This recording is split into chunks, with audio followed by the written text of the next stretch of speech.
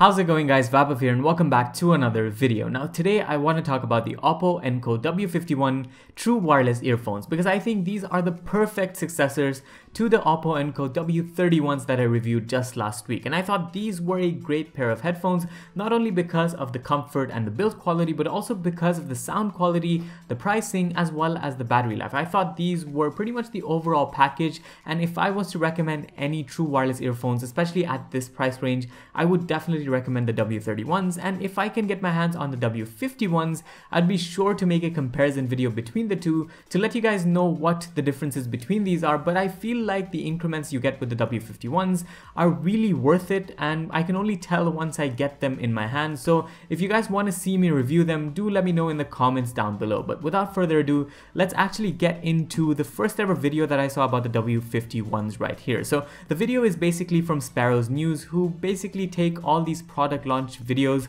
and compile them into their channel and I feel like it's a really good way to judge the product overall. Now, the first thing that I notice is that the squarish box is different from the circular box. I don't know how this will differentiate in terms of comfort levels, but if you actually look at the headphones themselves, they look pretty similar, the W31s and the W51s. Now, the W51s have a variety of things that aren't on the W31s. The two things that I'm looking forward to the most are active noise cancellation, which offers a 35 decibel reduction in the noise surrounding, as well as wireless charging support and just better battery life efficiency overall. And we'll get to that in just a bit, but I think the overall video that we're watching right now focuses a lot on its active noise cancellation that I think you can trigger by double tapping one of the earbuds, and that really makes for an unparalleled experience. You can see that this guy is walking walking around jolly on his way and he can't hear anything, the truck converts to a bike. So I think the way they're conveying this is all the extra sound around you basically converts to nothing so you'll be able to experience your music even better. So this dog basically converts to a cute little puppy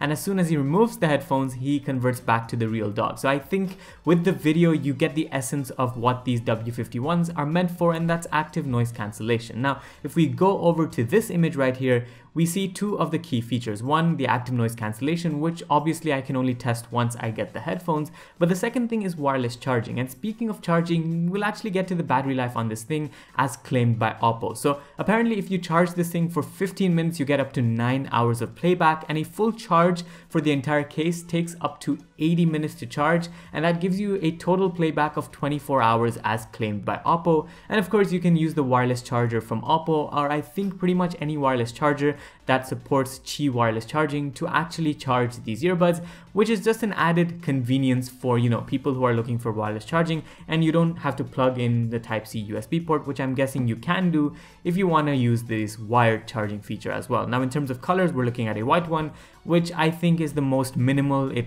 pretty much blends with everything. There is a shade of blue around it. I don't know if that's an effect from the light or if it's just the shade that Oppo went for. Don't really know. There's also a blue one which I particularly like. I don't think it's blue, it's more of a turquoise color. Um, as you can see, the LED light is still inside the case, which is something I complained about in my W31 review. So if the LED light was outside, this would have been a much bigger upgrade in my opinion, because I think the LED light outside just gives you more idea of how much battery there's left in the headphones.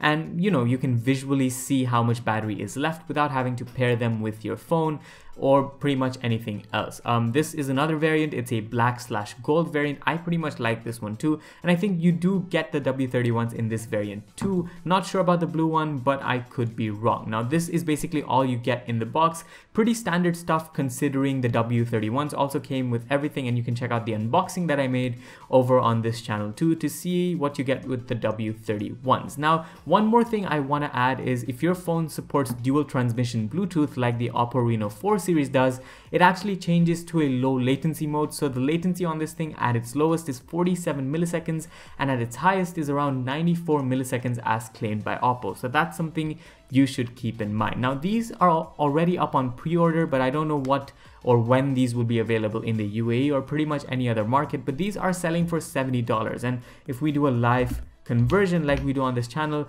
this translates to 257 dirhams. Now considering these are, you know, a lower tier version of the W51s. The W31s sell here for 299 dirhams. I'm guessing the W51s, if they do come to the UAE, will sell for more so around the $100 price tag. I could be wrong, maybe even more than that. I'm guessing somewhere around the 450 dirham price tag because I think the increment makes sense. I don't think the W31s are going lower in price anytime soon. And if Oppo wants to stick to this pricing, especially in the UAE, they'll have to price the W51s at a higher price because they bring you more things like active noise cancellation, wireless charging, and better battery efficiency overall. But those were my thoughts on the W51s. I think they're a good upgrade in terms of specifications and on paper, and I really can't wait to try these out and compare them with the W31s if I do get a chance. So yeah, let me know what you guys think down in the comments. If you want to see a video on the W51, do let me know in the comments because that helps out. I can reach Oppo via that comment and maybe they'll be able to send a pair out if they come to the UAE anytime soon. I'll probably buy them and give you guys my thoughts that way. But thanks for watching. This was Vaibhav and I'll see you in the next one. Adios.